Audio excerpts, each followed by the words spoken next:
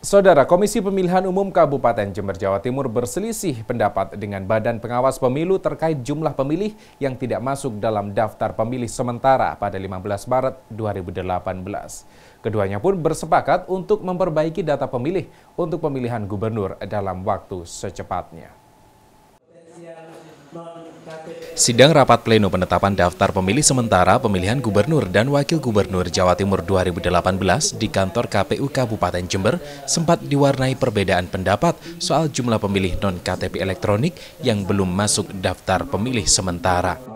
Dari data KPU, terdapat 38 ribu pemilih non-KTP elektronik yang belum masuk daftar pemilih sementara. Sedangkan dari data Badan Pengawas Pemilu, terdapat 1.500 pemilih non-KTP elektronik yang belum masuk DPS.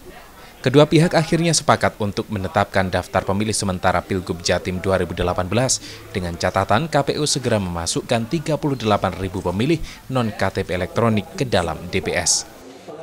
Persoalan dari masukan dan saran dari Panwas itu sesuatu yang wajar karena teknis di lapangan memang memungkinkan adanya beberapa hal perubahan dan lain sebagainya yang mungkin saat itu terkoreksi atau tidak terkoreksi oleh pihak ad hoc kita. Karena nanti di DPT itu eh, DPT itu harus data yang sudah mempunyai uh, warga yang sudah mempunyai ektp dan juga atau suket.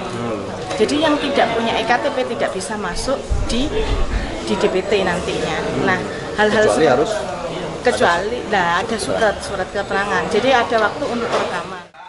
Sebanyak 1.817.492 pemilih. Daftar tersebut akan bertambah jika 38.000 pemilih non-KTP elektronik dimasukkan ke dalam daftar pemilih sementara. Hernawan Mustika, Kompas TV Jember, Jawa Timur.